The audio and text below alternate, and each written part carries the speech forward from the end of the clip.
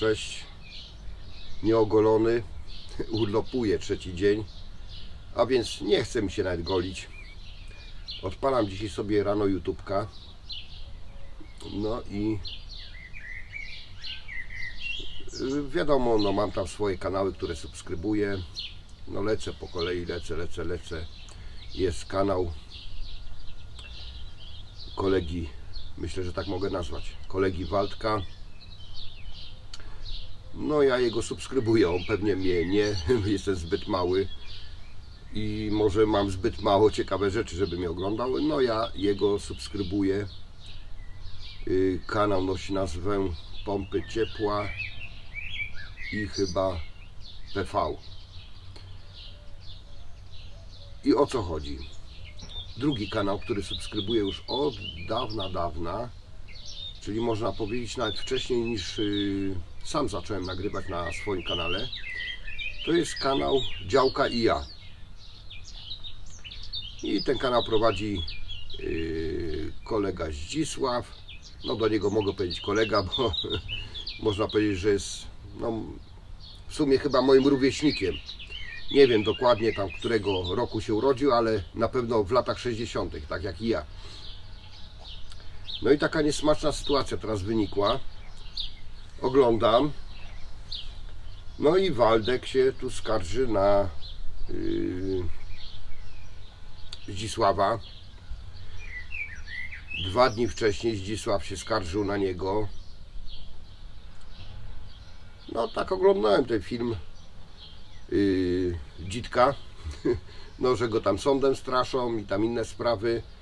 No i dzisiaj w, yy, oglądam filmy przeciwnej strony, czyli rzekomego oskarżyciela, czyli Waldemara. I tam sobie po prostu tak jeden i drugi. A ten zrobił coś nie tak, a ten coś powiedział na mnie coś nie tak. I to takie, no trochę dla mnie to jest takie śmieszne, no dziwne.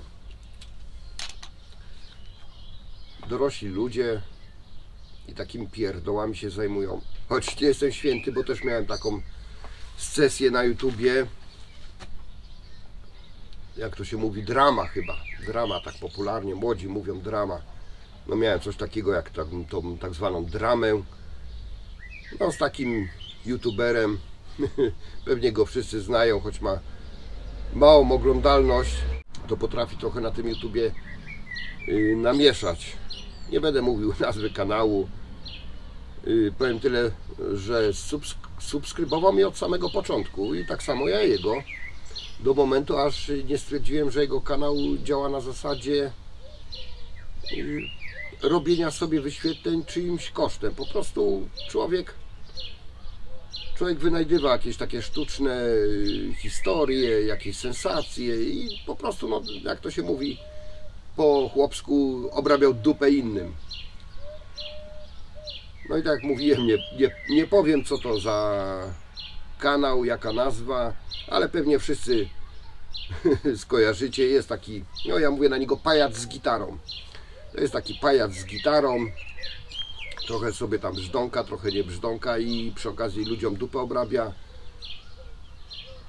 I trochę mnie to tak dziwi, że Zdzisław, no, no facet po 50, Waldek, tak myślę, nie wiem dokładnie, ale tak, no też już tak chyba do 40 się zbliża.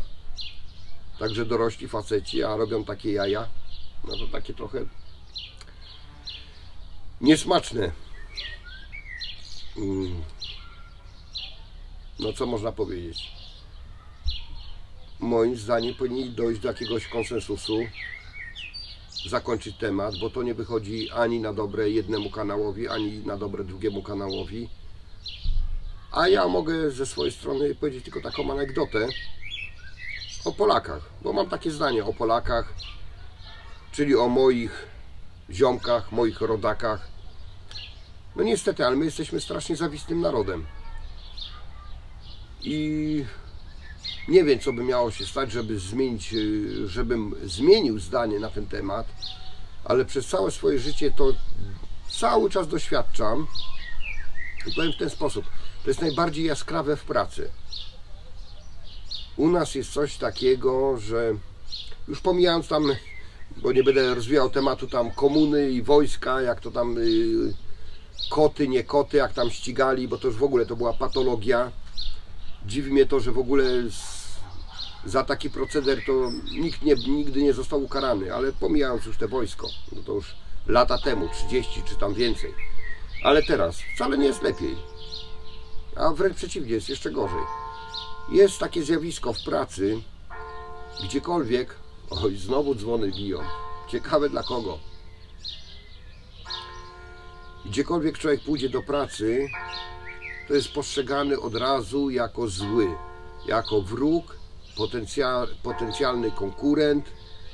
Yy, No, osoba taką, którą najlepiej zdusić w zarod, w zarodku, skoro już podjął tą pracę, to najlepiej mu, jak to się mówi, dupę obsmarować, do niczego się nie nadaje, nic nie umie. Yy, Generalnie po prostu wypieprzyć za bramę i koniec. Nie przyjdzie następny i następnego ten sam sposób załatwimy. Tacy, tacy po prostu są Polacy. No, no niestety, przykro to mówić, ale tak, tak, taka niestety jest prawda. Mam na to wiele, wiele przykładów. No i tak na koniec tego mojego wywodu powiem taką anegdotę. Mój kanał nie jest przewidziany dla dzieci, więc dorośli mogą słuchać. A jeżeli dzieci słuchają, to proszę wyłączyć. Anegdota. Pani pyta dzieci, chyba każdy z nas miał takie pytania w szkole podstawowej, kim byś chciał być, kiedy będziesz dorosły? No i pani pyta w szkole, no Zosiu, kim ty byś chciała być, jak będziesz dorosła? No Zosia mówi, chce pani, ja bym chciała być, jak będę dorosła, pielęgniarką. A dlaczego pielęgniarką? To nauczycielka.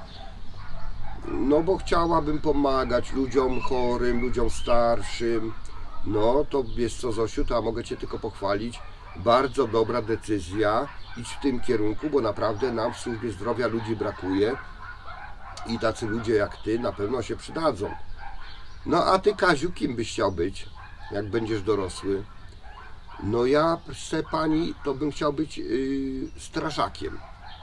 O, też, też zawód taki naprawdę godny polecenia. Ratuje, yy, strażacy ratują ludzkie życie yy, podczas pożaru, podczas powodzi. Nawet kotka zdejmą z drzewa, jak wejdzie i nie potrafi zejść. No a ty, Jasiu, a ty, Jasiu, kim byś chciał być, jak będziesz dorosły? Jasiu tak myśli, myśli. Prze pani, ja to bym chciał być skurwysynem. Co? No, chciałbym być skurwysynem. Jasiu, jak ty tak możesz mówić? A dlaczego ty byś chciał być skurwysynem? Bo wie pani co? Jak tak ta z tatą i z mamą wracamy nieraz z kościoła po, niedzielę, po niedzielnej mszy, to tata do mamy mówi, ty patrz, jaki skurwysyn ma samochód.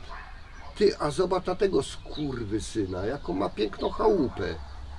No ja też bym chciał być skurwysynem.